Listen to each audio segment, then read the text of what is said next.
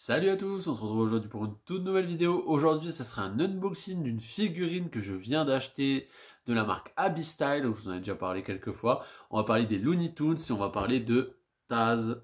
Je vais vous présenter ça tout de suite, voir ce que ça donne. Allez, c'est parti.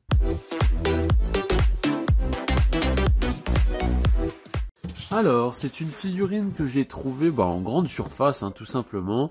Euh, donc de la marque Abystyle Studio. Euh, donc dans leur marque SG Figures qui sont euh, une gamme de taille euh, assez petite. Hein. Au final, on est dans les quinzaines de centimètres, je dirais, à peu près. C'était vendu 25 euros, donc je trouvais que c'était un très bon prix. Récemment, je vous ai présenté l'inspecteur gadget qui venait de chez eux, que j'avais trouvé chez Nose pour 12 balles. donc voilà, là, on va dire que chez Nose, ils sont un peu à moitié prix. donc ouais, c'est la numéro 57, donc une belle boîte cristal. Vous avez Vitrine devant, sur le côté, une belle illustration de Taz. À l'arrière, bah, une photo de ce que ça représente. Avec Abystal Studio, sous licence Warner. Et l'autre côté, un autre visuel. En dessous, pas grand chose. Les mentions légales, Abystal à partir de 14 ans. Euh, donc voilà. Le dessus aussi, sympathique. On va l'ouvrir et on va voir ce que ça donne. Alors, voilà comment ça se présente. Donc, petit diorama avec Taz, euh, qui est en train de tourner. Euh, donc vous avez les éléments de Taz qui sont très très bien réalisés. C'est un peu dans un style euh, bah, vraiment cartoon, un dessin animé. Donc ça ils ont respecté avec des traits un peu plus grossiers, etc. au niveau des yeux. Niveau de la bouche, donc vous avez du beau relief avec la langue, les dents, pas de souci de peinture, c'est très bien foutu.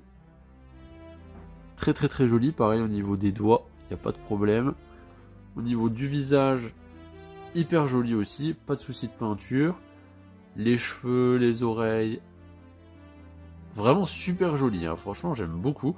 La posture est très dynamique, donc vous avez sa petite tornade très bien peinte avec un dégradé, donc vous avez des feuilles à l'intérieur, vous avez du bleu sur le dessus, du blanc sur le dessous, puis ça se finit avec une trace de fumée qui le suit un peu en transparent, transparent blanchâtre avec aussi des feuilles à l'intérieur. Au niveau du socle, vous avez de l'herbe hein, tout simplement, il y a un beau travail euh, de relief. Vous avez le socle qui représente la terre avec l'herbe au-dessus. Je pense que c'est collé euh, l'herbe au-dessus de, la terre. Du coup, il y a un petit effet de relief ici qui est vraiment joli, qui immerge encore plus dans, tout ce qui est cartoon. Vous avez l'impression vraiment que c'est dessiné.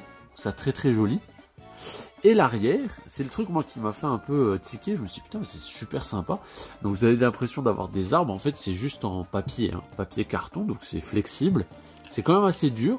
Je pense qu'il y a une tige plastique à l'intérieur qui fait que ça reste un peu rigide. Plus des petits arbustes derrière. Recto verso, donc ça c'est joli. Et c'est vraiment collé à l'intérieur. C'est quand même assez dur. Je je sais pas si vous allez entendre. C'est quand même assez dur à ce niveau-là. Très joli. Avec aussi le l'effet de fumée qui est sur le côté. En dessous, qu'est-ce qu'on a? Donc ça aussi, hein, assez classique. Vous n'avez pas grand-chose, c'est pas numéroté ni quoi que ce soit. SG Figure, Abyssal Studio qui est en qui est en plus euh, voilà, c'est vraiment euh, débossé, on va dire.